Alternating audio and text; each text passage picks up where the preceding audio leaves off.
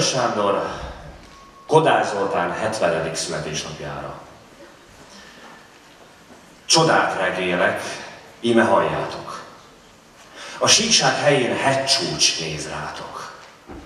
A magyar rónán kék hegycsúcs kelt fel, ormán hajnal jár csillagsereggel. A róna ezer éneke hangzik, a hegypárkányon zúgva visszhangzik. Ezernyi szép dal mind szélbe szállna, ha nem zúgatná nagy kőhalást. A hegytetőn, hol sas szárnya lendül, a kristályég, mint orgonra zendül.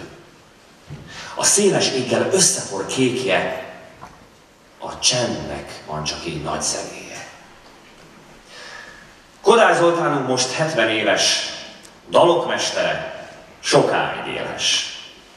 Hisz egy hegyorom 70-nel vállán oly fiú, mint egy arany királylány.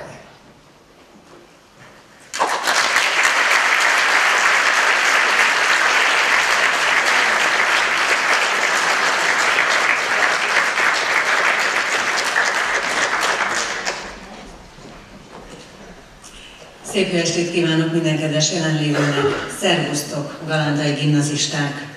Tíz év elteltével ismét ünneplünk.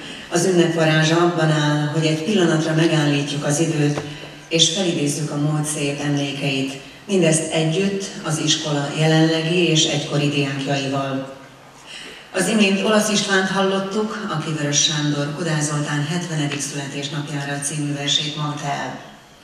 István a Pozsonyi Színművészeti Főiskola elvégzése óta a Komáromi Jókai Színházban tevékenykedik, számtalan szép sikerrel a tarsajában. 2004-ben Ferenci Anna díjjal tüntették ki. Az elkövetkező másfél órában ő lesz műsorvezető társam. Én is.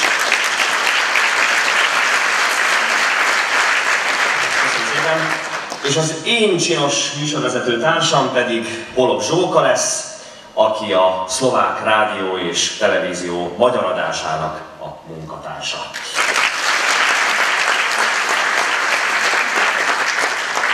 A gimnázium énekkara kezdetettől fogva hozzátartozott az iskola arculatához és a galántai hagyományokhoz. Ünnepi műsorukban Kodály Zoltán és Ák Tibor gyűjtéséből egy névdalcsokrot adnak elő, vezényel Balog Csaba tanár úr. Ehhez és az egész mai gálaműsorhoz nagyon jó szórakozást kívánok!